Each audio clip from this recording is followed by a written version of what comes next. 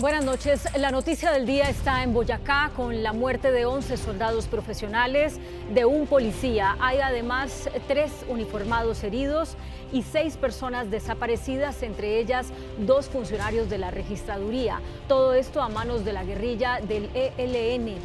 Estos hechos ocurrieron cuando, según versiones de pobladores de la vereda Bogotá en Boyacá, los militares trasladaban los votos de las elecciones de ayer hacia el casco urbano de la población de Huicán. A esta hora hay combates en la zona. El ELN, recordamos, también dejó un soldado muerto en zona rural de Anorí, en Antioquia, y uno herido en Teorama, el norte de Santander, durante la jornada electoral. De esta y las siguientes noticias hablaremos en la presente emisión de CMI. Emboscada del ELN en Boyacá. Mueren 11 soldados y un policía. Nación garantiza entrega de 9.6 billones de pesos para el metro de Bogotá. Alcalde electo de Bogotá revela estrategia de movilidad. Derogará decreto que autoriza construcción de rascacielos. Hablan los alcaldes electos de Medellín y Cali anuncian sus estrategias en movilidad. Expresidente Gaviria reclamará para el liberalismo la victoria en las elecciones regionales. Cambios en régimen de importación de celulares anuncia el gobierno. Cerca de 300 muertos deja terremoto en Afganistán. Incierto regreso del colombiano James Rodríguez a las canchas el Real Madrid no forzará su regreso. Sin Messi y sin Agüero, Argentina enfrentará a Colombia en Barranquilla. Que viva la música, una de las obras literarias más recordadas en Colombia, llega al cine esta semana y hoy su director nos revela detalles de esta producción. Nos vemos al final de la misión en un flash.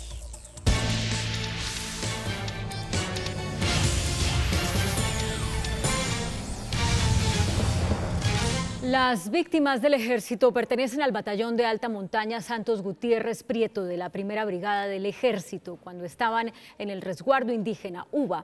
Didier Chica en el Ministerio de la Defensa con los detalles. Claudia, la información oficial sobre esta emboscada que las fuerzas militares acaban de atribuir a la guerrilla del ELN es la siguiente. Murieron 11 soldados y un policía. Otros tres soldados y un policía están desaparecidos, al igual que dos funcionarios de la Registraduría Nacional y un líder indígena que los guiaba cuando emprendieron su regreso desde el municipio de Guayca con el material electoral después de la jornada de elecciones. Este pelotón cumplía la misión de garantizar la seguridad de los resultados electorales en el resguardo indígena de Bachira, jurisdicción de Huicán, departamento de Boyacá. Esos 12 héroes asesinados estaban custodiando 130 votos el general Alberto Mejía, comandante del ejército, fue enviado a la zona, al parque del Cocuy, para liderar las operaciones de búsqueda y rescate de estas personas desaparecidas, igualmente en procura de la captura de estos guerrilleros del ELN. A nombre del gobierno, nuestra condolencia a las familias de estos dos héroes. Haremos lo posible por encontrar a quienes están desaparecidos pero la condolencia no termina en esas familias de los fallecidos, de los asesinados, sino que es una condolencia, como dije, para toda la familia colombiana. La llegada de las tropas al lugar se dificultó. La primera información que supo la fuerza pública de estos hechos fue por una interceptación que realizaron a la guerrilla del ELN. Información desde el Ministerio de Defensa, Didier Chica, CMI La Noticia. Didier, gracias. Y hace pocos minutos el presidente Juan Manuel Santos se pronunció sobre este ataque del ELN en Boyacá. ¿Qué dijo, Francia? Claudia, muy buenas noches. Mire, el presidente Juan Manuel Santos finalizó una reunión con los partidos políticos de la Unidad Nacional y precisamente al reiterar que estas elecciones habían sido las más pacíficas en los últimos tiempos, pues también lamentó este hecho donde el ELN asesinó a 11 militares y a un uniformado de la policía. Les envió mensajes de condolencias a sus familias. Les dijo que su muerte no será en vano. Y es un hecho que demuestra que el ELN no ha entendido que este es el tiempo de la paz y no el tiempo de la guerra. Si el ELN cree que con estos actos va a ganar espacio político o a fortalecerse en una eventual negociación, está totalmente equivocado. Es exactamente lo contrario. He ordenado al ministro de Defensa y a las Fuerzas Armadas que redoblen los esfuerzos, intensifiquen sus acciones militares contra esta organización. Para el ELN y todos aquellos que no entren en el camino de la paz, el mensaje es claro.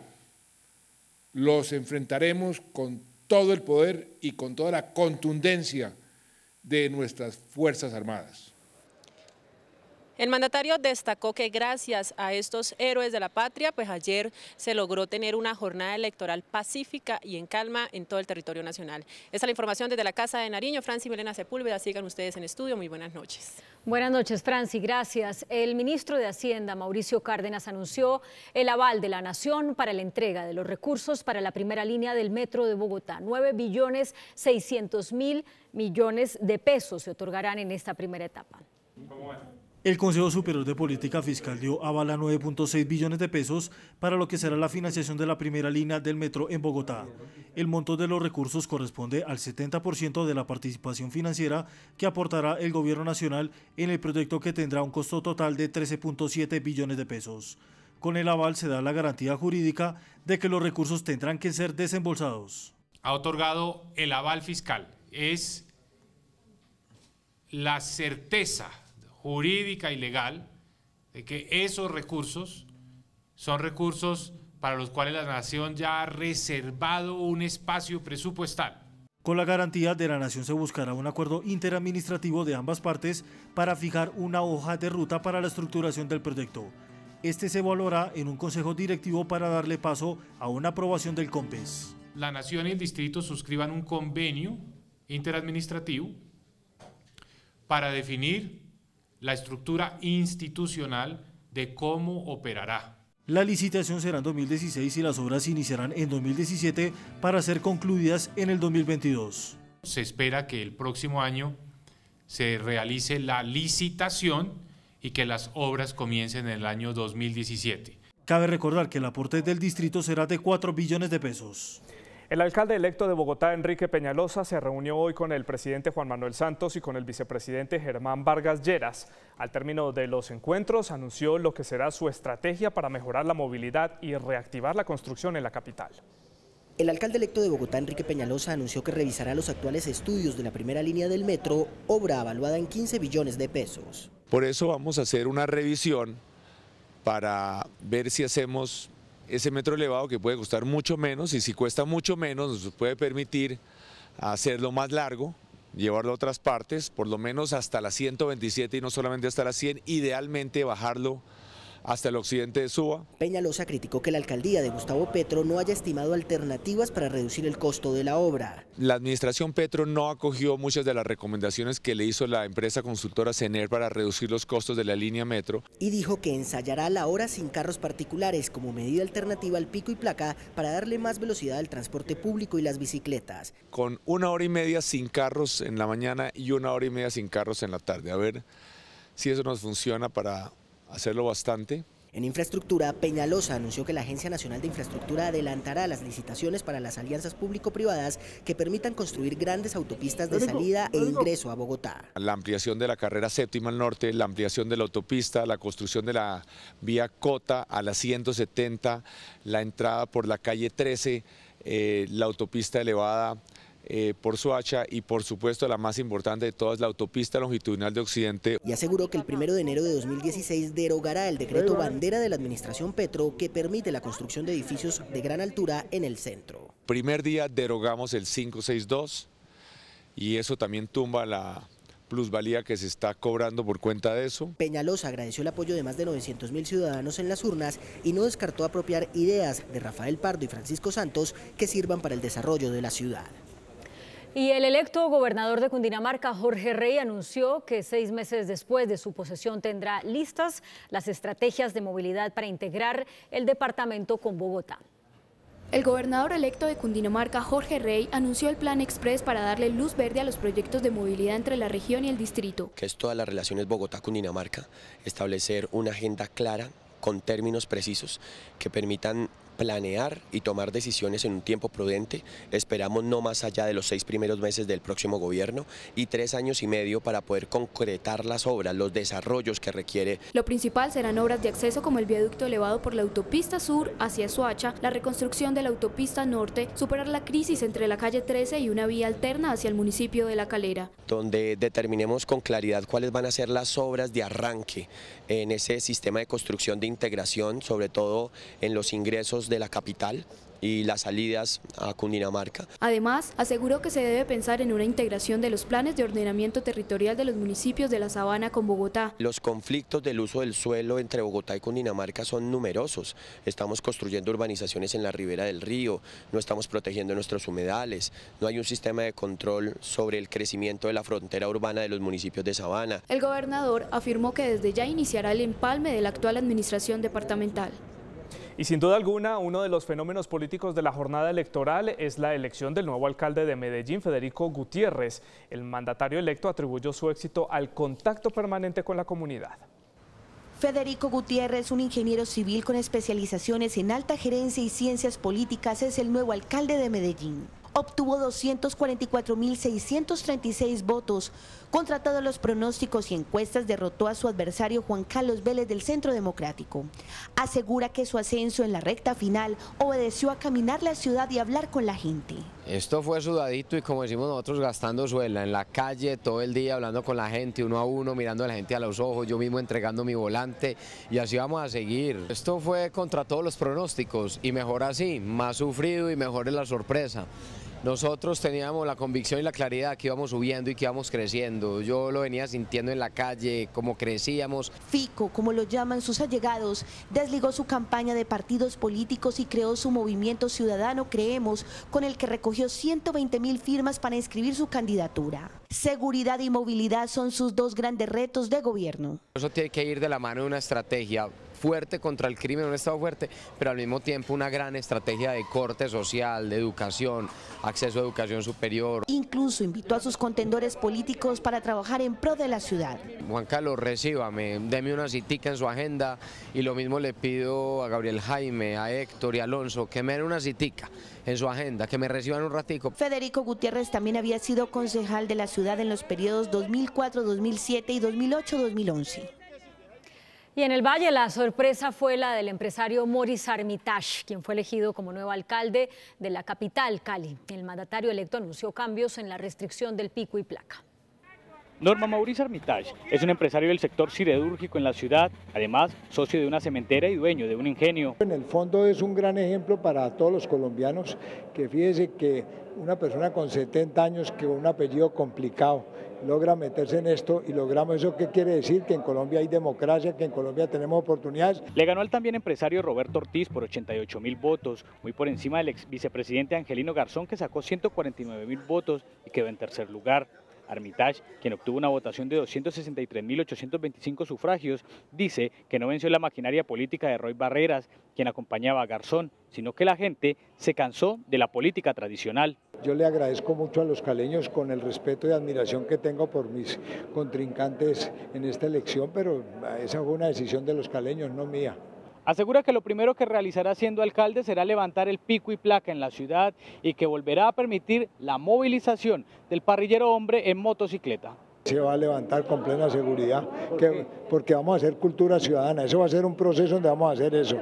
Mauricio Armitage se inscribió por firmas, pero recibió el apoyo de Cambio Radical, un sector del Partido Conservador, el Centro Democrático y algunos políticos tradicionales de la región.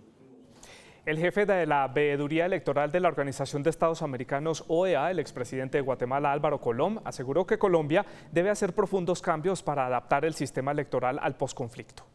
Aunque los 40 delegados de la misión electoral de la OEA que participaron como veedores de las elecciones regionales felicitaron a las autoridades nacionales por la agilidad, la transparencia y la seguridad en los comicios, dijeron que el proceso debe hacer cambios para adaptar el proceso al posconflicto tras la firma de la paz con las FARC. Este proceso se puede convertir en una especie de laboratorio para que las autoridades respectivas, la sociedad eh, colombiana, provoque, promueva y logre las transformaciones que el sistema político y electoral colombiano necesitan.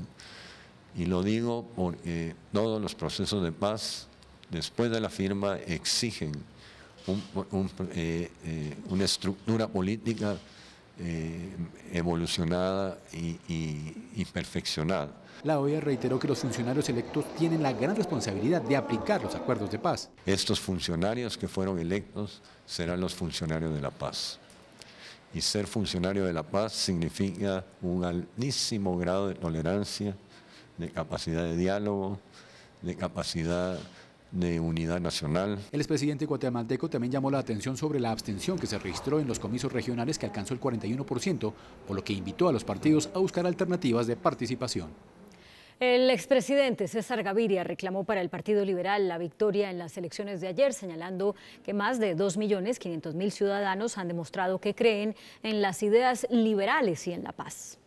En una declaración escrita, el expresidente César Gaviria Trujillo dijo que los más de 2.500.000 colombianos que acompañaron al liberalismo en estas elecciones creen en la paz, creen en las ideas liberales y no están contra la posibilidad de que a Colombia vuelva la paz. Aseguró que el Partido Liberal ganó en 10 gobernaciones con candidatos propios y obtuvo más de 240 alcaldías. El liberalismo aumentó presencia en consejos y asambleas, dijo además el expresidente César Gaviria.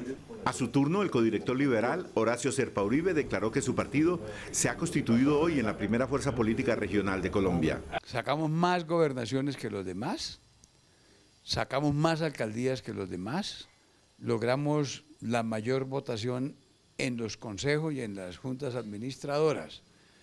El partido la U fue el primero en la votación con las asambleas.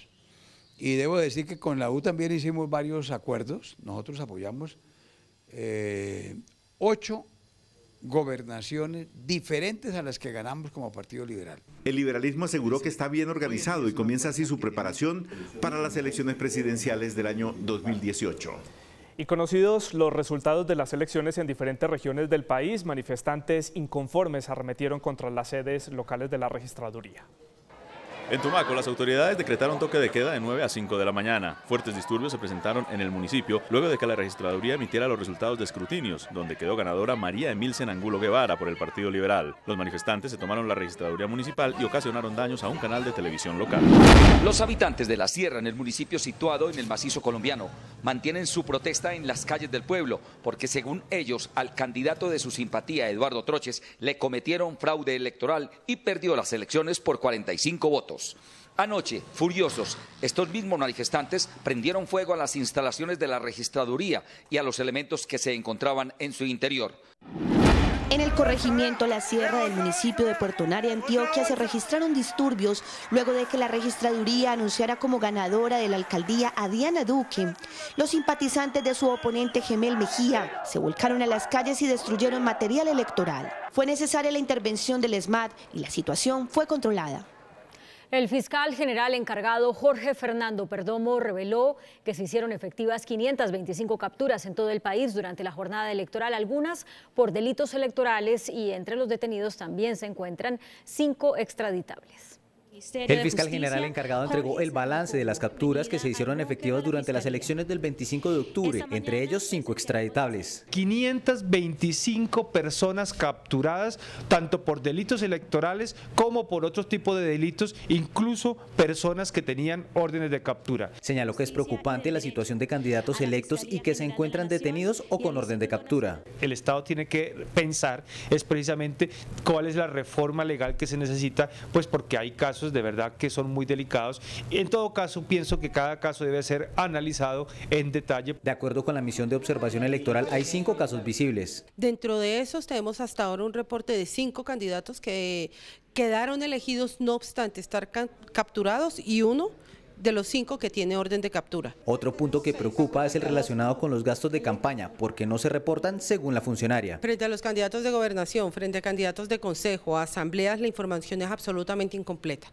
Si uno toma hoy la información de cuentas claras, se puede dar cuenta que esa información no corresponde a la realidad de lo que ocurrió el día de las elecciones. Las autoridades también incautaron cerca de 1.700 millones de pesos que al parecer estaban destinados para las elecciones.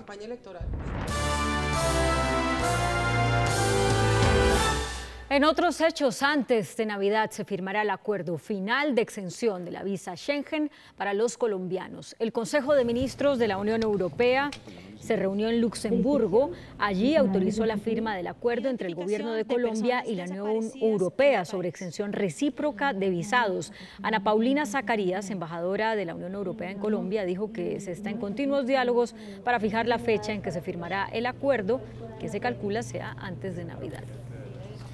Las autoridades de salud prendieron las alarmas por un caso de rabia silvestre que cobró ya la vida de un menor de nueve años en mesitas del colegio en el departamento de Cundinamarca. El Ministerio de Salud hizo un llamado a los propietarios de animales para que los vacunen contra el virus y prevengan la propagación. En Mesitas del Colegio, un municipio a 31 kilómetros de Bogotá, se confirmó un caso de rabia silvestre, un virus que causa la muerte cuando se desarrolla. Así pasó con un menor de nueve años. Lo había arañado un gato un gato eh, silvestre, un gato que no es de la casa. Al niño lo llevaron al médico solo mes y medio después del incidente. Cuando el niño llega, llega a una situación ya muy complicada. Desde que presente el primer síntoma, por leve que sea, por un leve hormigueo que sea, por ejemplo, es 100% letal. El mortal virus es transmitido por animales de sangre caliente como perros, gatos, zorros, mapaches y murciélagos, quienes pueden contagiar a los humanos. En esa interacción, el gato pudo habérselo habérselo, haberlo atacado, habérselo comido y haber sido contagiado con la enfermedad. Por eso hacen un llamado a los dueños de los animales para que los vacunen y en caso de ser mordidos acudir al médico. Se lleva al hospital, en el hospital es disponible la vacuna antirrábica, se le aplica la vacuna, que es otra vacuna, y con esa vacuna se previene que se presente cualquier situación. La Corte Suprema de Justicia ordenó retirar una antena de telefonía celular ubicada cerca de una vivienda de una mujer que padece cáncer. La Corte Suprema de Justicia ordenó que en menos de 48 horas sea retirada una antena de telefonía celular ubicada a 40 metros de la casa de una paciente con cáncer en la vereda Parco de Ibagué. La Sala Civil de la Corte Suprema concedió mediante acción de tutela la protección de los derechos a la vida, la salud, el medio ambiente sano, la dignidad y el principio de precaución. Para la Corte Suprema, la exposición a la radiación electromagnética que puede producir la antena de telefonía móvil conlleva un riesgo para la salud de la paciente. Aunque la Corte admite que no existen estudios científicos al respecto, asegura que dada la afectación grave de salud de la paciente, las consecuencias podrían ser irreparables. Gobierno Nacional modificó las reglas para la importación de celulares. A partir de diciembre quedará totalmente prohibido el ingreso al país de móviles utilizando los servicios postales. A través del decreto 2025 del 16 de octubre de este año, el gobierno nacional restringió la importación de teléfonos inteligentes como medida para frenar el hurto de estos equipos. Uno de los alcances de este decreto que entrará en vigencia a partir del 1 de diciembre de este año es la prohibición de la compra de equipos móviles en el exterior a través de sistemas de correo y mensajería. Además, no se podrán importar celulares cuyo número de identificación del equipo esté registrado en bases de datos a no ser que esté reportado en procesos de importación por parte de distribuidores autorizados, esto para frenar el mercado negro. Las medidas adoptadas por el gobierno nacional también buscan desestimular la compra y venta de equipos robados en países vecinos como Ecuador y Perú. El precio del dólar inicia la semana al alza, indicadores económicos del día en CME. La tasa representativa del mercado que regirá para mañana martes será de 2.918 pesos con 21 centavos. Los profesionales del cambio compran la divisa en 2.750 y la venden en 2.780 pesos. Un euro cuesta 3.228 pesos con 37 centavos. La libra de café en Nueva York se cotizó a un dólar con 17 centavos. El azúcar se transó en 14,64 centavos de dólar la libra. El barril de petróleo WTI se cotizó en 43 dólares con 88 centavos. Una acción de Copetrol cuesta 1.365 pesos. El índice de capitalización de la Bolsa de Valores de Colombia bajó 0,05% a 1.248 puntos. La acción de Cementos Argos fue la que más subió, con una valorización de 1,41% a 10.040 pesos. La acción de preferencial Avianca fue la que más cayó, con una pérdida de 7,08% a 1.575 pesos. Lunes y comenzamos la semana con muchas noticias del mundo de la tecnología, por eso está con nosotros Alejandra Ortiz en CMI en línea. Waze, la aplicación gratuita para dispositivos móviles en la que los usuarios alertan sobre el tráfico, accidentes y retenes de policía, entre otras situaciones, anunció una nueva actualización en su plataforma y hoy se las presento aquí en CMI en línea. Con esta nueva actualización se necesitan menos clics para acceder a las características más importantes de Waze. Al presionar el icono de la izquierda, usted encontrará el menú de navegación y todos sus destinos frecuentes y favoritos. Mientras tanto, si usted presiona el icono de la derecha, Waze le permitirá acceder rápidamente a sus contactos para enviar direcciones, compartir su ubicación y la hora estimada de llegada.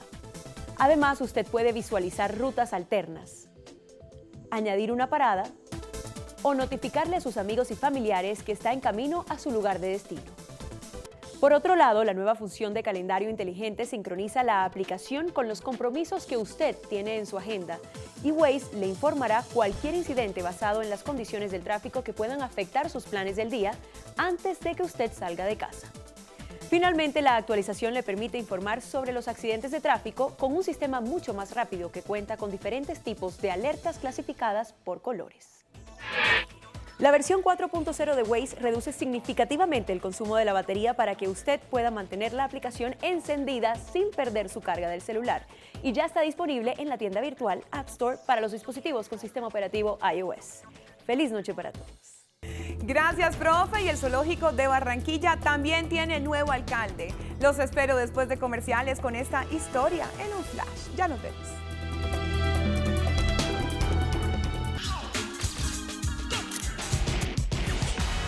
Hola, muy buenas noches para todos y bienvenidos a este flash de entretenimiento aquí en CMI 7 pm. El próximo jueves 29 de octubre llega a las salas de cine la versión cinematográfica del exitoso libro Que viva la música escrito por Andrés Caicedo. Su director Carlos Moreno nos contó detalles de la producción que tiene en expectativa los amantes del séptimo arte y expertos en Colombia. Una fiesta en la casa del Flaco Flores. ¿Vamos o qué? La fiesta fue ayer. ¿Dónde ha acabado? La única novela literaria finalizada por el fallecido escritor Andrés Caicedo llega al cine. Que viva la música, un crudo relato de los excesos de una joven de clase alta de la Sultana del Valle con un mensaje claro. Esto es un manifiesto, es una forma de rebelarse contra la sociedad, de decirle a la sociedad que no está bien, Que, que, que está incompleta y que alguien decide irse en contra de ella, ¿no? Su producción tardó algo más de lo esperado, pues el casting se hizo a través de las redes sociales. Además, querían ser fieles a la línea argumental de la obra de los años 70. Se da una licencia de ubicarse en un tiempo que no es muy exacto. Eh, de todas maneras, sí hace el mismo viaje musical, ¿no? Que es el viaje como de rock, hacia la salsa. ¿no? Este 29 de octubre los colombianos podrán disfrutar del filme dirigido por Carlos Moreno apoyo al cine nacional. Y los DJs número uno del mundo, Dimitri Vegas, y Like Mike, llegarán a Colombia el próximo 6 de noviembre. La dupla celebrará en nuestro país el reciente reconocimiento que les hizo la reconocida revista DJ Mag como los mejores del planeta en su género. La cita con lo mejor de la música electrónica será en el Centro de Eventos Autopista Norte de Bogotá. Y el Zoológico de Barranquilla también tuvo su jornada electoral. Una felina se convierte en la nueva alcaldesa de una de las principales atracciones de la Arenosa. En una elección sin trasteo, sin compra de votos y sin que se advirtiera ningún tipo de delito electoral, este animal salvaje ganó en franca lid al flamenco, el lemur de cola anillada y al caimán aguja. El debate se desarrolló de manera inclusiva, transparente, eh, participativa. Tuvimos cuatro jefes de campaña que representaron muy bien eh, los programas de gobierno de los candidatos. En este ejercicio, en el que se promueven los valores democráticos, funcionaron cuatro mesas de votación. La idea es que los niños desde, chiquitos eh, se familiaricen con con, el, con el ejercicio del voto como un derecho y un deber democrático. Tan transparente fue el debate que no hubo alegatos de mesas ni demandas en altos tribunales porque en el zoo primó una democracia sin clientelismo. Y el maquillaje se convierte en el aliado número uno de las personas a la hora de impactar en Halloween. Por esta razón es importante saber qué está de moda. A continuación les mostraremos algunas tendencias. Un buen maquillaje puede ser el complemento ideal para los disfraces de Halloween. Y en esta temporada los superhéroes se llevan la atención. Aquí estamos haciendo un maquillaje del archienemigo de Superman que es Bizarro, que es como un clon que quedó mal hecho. Algunos buscan quedar irreconocibles en la noche de disfraces. A través del maquillaje también lo pueden lograr. Estamos trabajando con el cráneo rojo. Colocar una prótesis que la hemos elaborado previamente en látex, dar luces y sombras y realmente muy sencillo. En un maquillaje de eso no nos demoramos más de 40 minutos y el efecto es espectacular. Pero eso sí, asegúrese de usar maquillaje especial para la piel. Y seguimos hablando de esta fecha porque a pocos días de celebrarse en todo el mundo, una mascota en Estados Unidos es la sensación en Internet y no precisamente por estar disfrazada. Se trata de esta pitbull malabarista que sostiene cuatro calabazas en su hocico tras la orden de su dueña. Eve, como se llama, logra por algunos segundos sostener los vegetales que por estos días están de moda sin dejarlos caer. Esto la ha convertido en toda una celebridad en las redes sociales.